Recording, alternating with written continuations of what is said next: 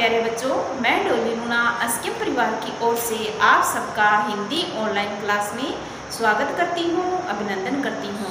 तो बच्चों, आज हम हिंदी व्याकरण का पाठ संख्या चार कर रहे हैं, जिसका आज हम तीसरा भाग करने जा रहे हैं।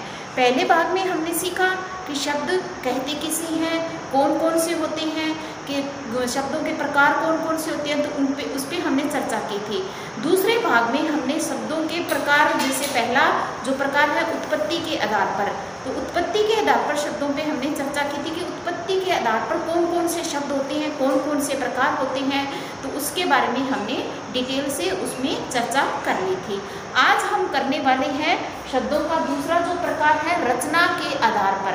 यानी शब्दों की रचना कैसे हुई? आज ये हमारा दूसरा टॉपिक है। शब्दों के जो भेद होते हैं, शब्दों के कितने भेद होते हैं तो उसमें हमने चार भेदों की बात की थी ना। उत्पत्ति के आधार पर रचना के आधार पर, अर्थ के आधार पर। तो आज हम इसका दूसरा भाग जो है, रचना के आधार पर शब्दों के प्रकार के बारे में जानेंगे। तो रचना यानी इसमें हम क्या सीखने वाले हैं? कि शब्द की रचना कैसे हुई, कैसे वो प्रयोग में लाए गए, किस तरीके से उनका निर्माण हुआ? तो अगर हम बात करें शब्दों की रचना के आधार पर तो रचना के आधार पर शब्दों को तीन भागों में बांटा गया है। कितने भागों में? तीन भाग में बांटा गया है। तो तीन भाग कौन से इसके? जैसे कि पहला, अगर माने तो हम पहला कह सकते हैं रूढ़ शब्द। कौन से शब्द? रूढ़ शब्द। इस पर हम बाद में डिटेल से चर्चा करेंगे कि रूढ़ शब्द कहते किसी हैं। दूसरा है यौगिक शब्द। यौगिक। और तीसरा इसका भेद है योग रूढ़ शब्द। योग रूढ़ तो आज हम इसी पे चर्चा करने वाली है तीन प्रकारों के। शब्दों के तीन प्रकारों के बारे में रूढ़ यौगिक और योग रूढ़ शब्दों पे हम बात करेंगे। तो अगर हम सबसे पहले बात करें रूढ़ शब्द किसे कहते हैं तो रूढ़ शब्द की अगर बात करें सबसे पहले हम परिभाषा लिखेंगे इसकी रूढ़ शब्द जो रूढ़ होते हैं यानी ऐसे शब्द किस रूढ़ शब्द किसे कहते हैं? ऐसे शब्द जो प्रचलन में चलते आ रहे हैं, जिनके टुकड़े करने पर, टुकड़े करने पर कोई अर्थ नहीं निकलता, वो क्या कहलाते हैं? रूढ़ शब्द कहलाते हैं। हमारे कौन से शब्द कहलाते हैं? रूढ़ तो हम इसमें लिख सकते हैं, ऐसे शब्द जो, ऐसे शब्द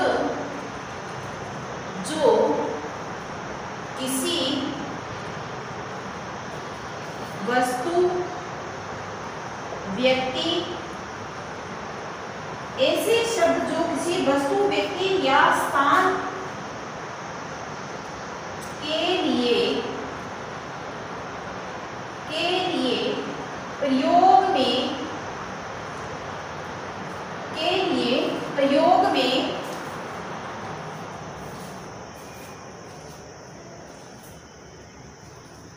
चले आ रहे हैं। प्रयोग में चले आ रहे हैं। यानी जो प्रयोग में लिए जा रहे हैं, जिनके टुकड़े करने पर, जिनके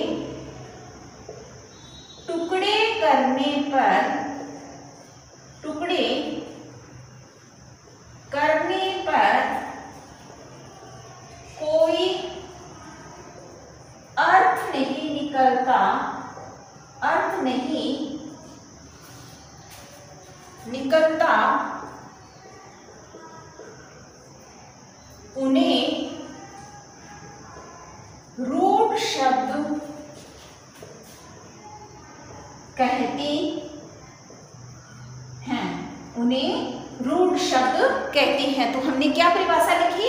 ऐसे शब्द जो किसी वस्तु, व्यक्ति या स्थान के लिए लाए जाते हैं। यानी कि किसी वस्तु का नाम हो, किसी व्यक्ति का नाम हो, या फिर कोई स्थान का नाम हो जो हम प्रचलन में ला रहे हैं नहीं जो प्रयोग में हम ला रहे हैं, जिनका यूज़ कर रहे हैं।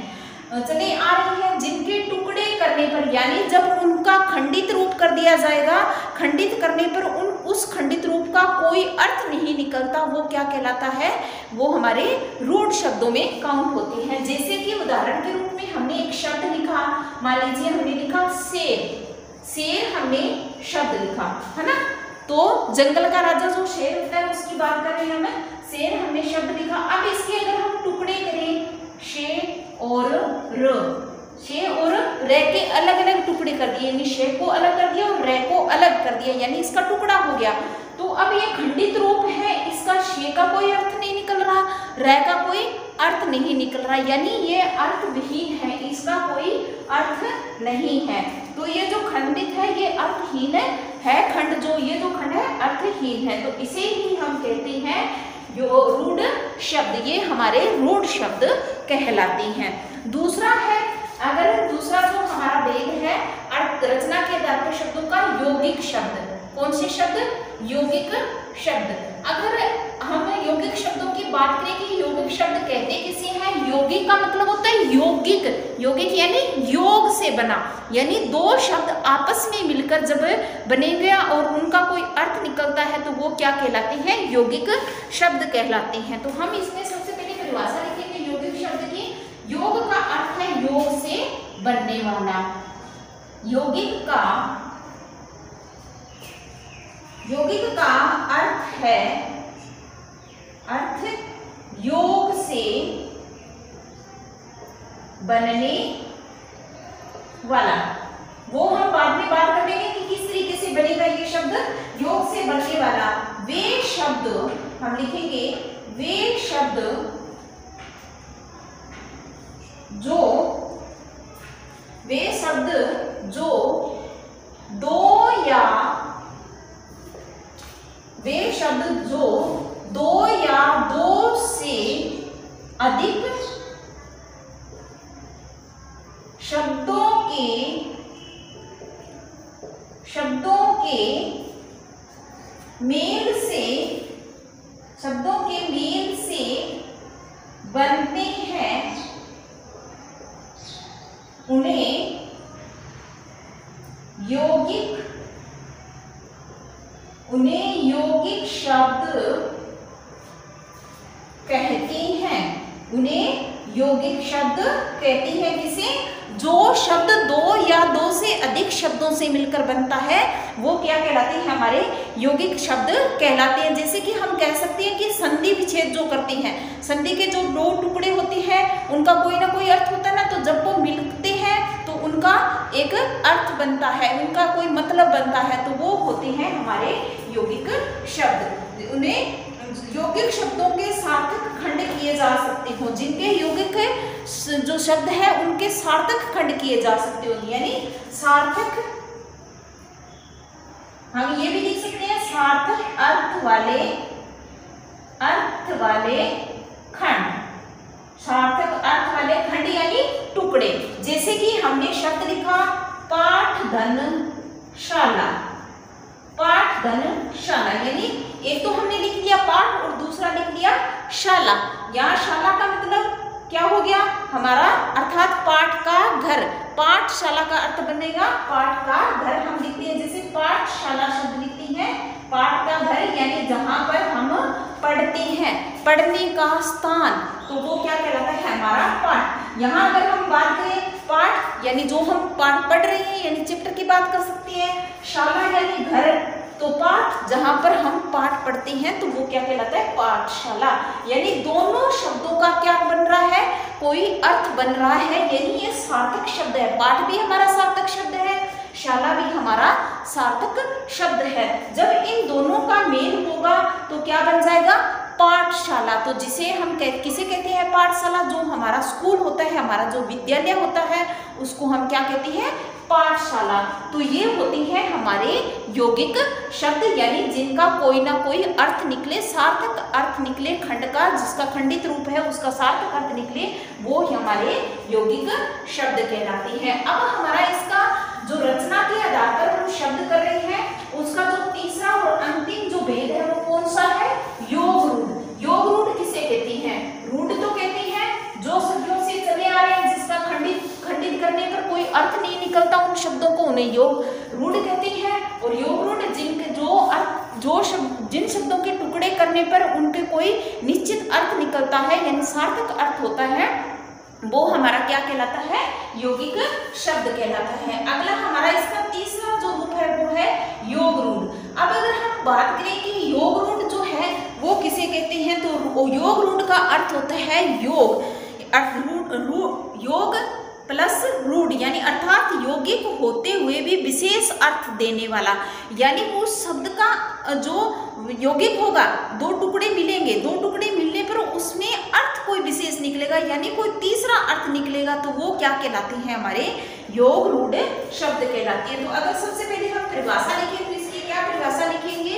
योग रूढ़ का, योग रूढ़ का अर्थ है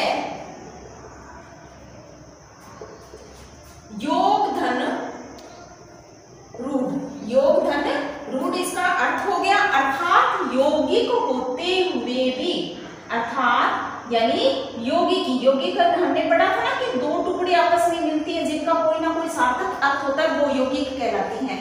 अर्थात यौगिक होते हुए भी यौगिक होते हुए भी विशेष, यानी एक कोई विशेष अर्थ वाला, यानी अलग से ही कोई अर्थ देने वाला अर्थ देने वाला अर्थ देने वाला जो शब्द जो शब्द दो या दो से या दो से अधिक, दो या दो से अधिक शब्दों के मेल से, शब्दों के मेल से मेल यानी मिलने से। मेल यानी क्या होगा? मिलने से, मेल से बनती है, मेल से बनती है और किसी और किसी विशेष और किसी विशेष अर्थ में विशेष अर्थ में प्रयोग किए जाते हैं प्रयोग किए जाते हैं या प्रयोग में प्रयोग में लाए जाते हैं प्रयोग किए जाते हैं उन्हें योग रूढ़ योग रूढ़ शब्द कहते हैं क्या कहते हैं उन्हें योग रूढ़ शब्द कहते हैं एक बार दोबारा से इसकी परिभाषा फिर देख लीजिए योग रूढ़ शब्द किसे कहते हैं योग रूढ़ का अर्थ है योग धन रूढ़ यानी योग भी हो रहा है और रूढ़ अर्थों का अर्थात यौगिक होते हुए भी, कौन से होते हुए? यौगिक होते हुए भी विशेष। कौन सा अर्थ देंगे वो? विशेष अर्थ प्रकट करेंगे। विशेष अर्थ देने वाला जो दो शब्द, जो शब्द दो या दो से अधिक, यानी या तो दो शब्द होंगे या दो से अधिक शब्दों को मिलने से, मेल का मतलब होता है मिलने से बनते हैं और किसी विशेष अर्थ का, यानी विशेष अर्थ का बोध करवाते हैं या विशेष अर्थ में अर्थ में प्रयोग किए जाते हैं उन्हें, यानी उनका अर्थ कोई विशेष निकल रहा हो तो वो क्या कहलाते हैं? हमारे योग शब्द होते हैं। उदाहरण के रूप में जैसे हमने एक शब्द लिखा, उदाहरण के रूप में मैंने शब्द लिखा, मान लीजिए, दसानन। मैंने एक शब्द लिखा, दसानन। अब दसानन का मतलब क्या होता है? दसानन यानी दस मुँह है वाला। तो दस मुँह वाला कौन था? रावण। यानी अगर हमने दसानन शब्द पढ़ा तो इसका मतलब क्या हुआ? हम किसकी बात कर रहे हैं? रावण की बात कर रहे हैं। रावण के कितने मुख थे? दस मुख थे। तो यानी यहाँ विशेष अर्थ बन रहा है ना? तो इसका अर्थ, दसानन का अर्थ क्या बना? दस धन आनंद, यानी दस मुह वाला। हम लिख सकते हैं, दस मुह वाला कौन? रावण। दस मुह वाला कौन होगा? रावण होता ना दस मुह वाला तो ये हमने लिख दिया दस धन, दस दस का मतलब यानी संख्या वाली जो गिनती होती है, दस धन आनंद आनंद यानी मुँह दस मुह वाला कौन? रावण। ये विशेष अर्थ दे रहा है, इसलिए ये हमारा क्या हो गया? योग रूढ़ शब्द में काउंट होगा। इस तरीके के जो शब्द होते हैं, वो योग रूढ़ में काउंट होता है। उदाहरण के रूप में जैसे हमने एक शब्द और लिखा, हिमालय। हिमालय शब्द लिखा तो हिमालय का जब हम खंडित रूप करेंगे, यानी जब इसको टुकड़े करेंगे तो क्या करेंगे? हिम धन आल्य हिम धन हाल्य इसका खंडित रूप हो जाएगा। हिम धन हिम का मतलब क्या होता है? बर्फ़। आल्य यानी घर। आल्य का मतलब क्या होता है? गर्भ और हिम का मतलब होता है बर्फ़। यानी बर्फों का घर हिमालय, यानी हिमालय का हिम एक आल्य है। एक विशेष पहाड़ के लिए हिमालय। हिमालय यानी किसका नाम हो रहा है? यहाँ एक पहाड़ की बात हो रही है जहाँ पर बर्फबारी होती है। तो ये हिमालय क्या हो गया? एक विशेष अर्थ प्रकट कर रहा है तो इसलिए ये हमारा योग रूढ़ शब्द में काउंट हो रहा है। तो ये था आपका दो, दूसरा भाग है, शब्द विचार का जो दूसरा सॉरी शब्द विचार के वेद का हम दूसरा भाग कर रहे थे, रचना के आधार पर। तो हमने कितने प्रकार की है रचना के आधार पर? सॉरी तीन वेद की बात की। रचना के आधार पर शब्द तीन प्रकार के होते हैं। रूढ़ यौगिक और योग रूढ़। रूढ़, योगिक और योग रूढ़ ये रचना के आधार पर है। अगर आपसे पूछा जाए कि शब्द जो होते हैं, वो रचना के आधार पर कितने प्रकार के होते हैं तो आपने कितने प्रकार के बताने हैं? तीन प्रकार के बताने हैं। कितने प्रकार के? तीन प्रकार के। कौन कौन से? अगर पूछा जाए कि कौन कौन से होते हैं तो आप क्या बताओगे? रूढ़, योगिक और योग रूढ़। और सबसे, इससे पहले हमने पहला जो भेद किया था, उसमें क्या किया था? उत्पत्ति के आधार पर जो शब्दों की बात की थी तो उसमें हमने चार प्रकार के भेद किए थे। उत्पत्ति के आधार पर जो शब्द होते हैं, सॉरी, पाँच प्रकार के होते हैं उत्पत्ति के आधार पर, जिसमें हमने किया था, तत्सम, तद्भव देशज विदेशज और जो संकर शब्द होते हैं, उनकी बात की थी। उत्पत्ति के आधार पर तो शब्द पाँच प्रकार के होते हैं और रचना के आधार पर तीन प्रकार के होते हैं। तो ये आपने अच्छे से याद रखना है, ठीक है? तो आज हम क्लास ये समाप्त करेंगे। रचना के आधार पर ये हमारे शब्द हो गए। नेक्स्ट क्लास में हम तीसरा जो अपना शब्दों का प्रकार है, तीसरा प्रकार कौन है? प्रयोग के, कौन सा है? प्रयोग के आधार पर। तो नेक्स्ट क्लास में हम प्रयोग के आधार पर शब्द कौन कौन से होते हैं, उसके बारे में चर्चा करेंगे। ठीक है स्टूडेंट ओके फिर मिलेंगे अगली क्लास में। तब तक के लिए जय हिंद, जय भारत।